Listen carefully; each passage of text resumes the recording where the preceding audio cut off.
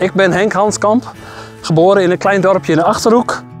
Ja, we zijn hier eh, op een proefveld waar we een proef doen met urine tegenover kunstmest om te kijken naar de effecten van urine tegenover kunstmest. De urine die wordt verzameld door ons koetoilet en de koetoilet die zorgt ervoor dat de urine, voordat die op de grond valt, direct opgevangen wordt in onze urinoir, in ons koudtoilet. Direct separaat opgeslagen wordt.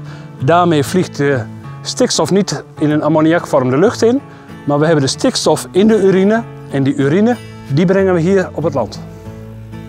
Ja, de urine komt natuurlijk direct van de koe. Het is rijk aan stikstof en kali.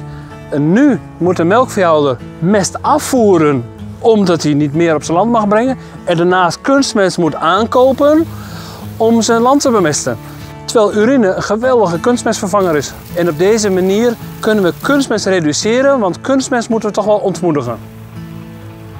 Ja, de eerste resultaten zijn zeer belovend. Het gras van de goudgele urine is groener en heeft meer opbrengst.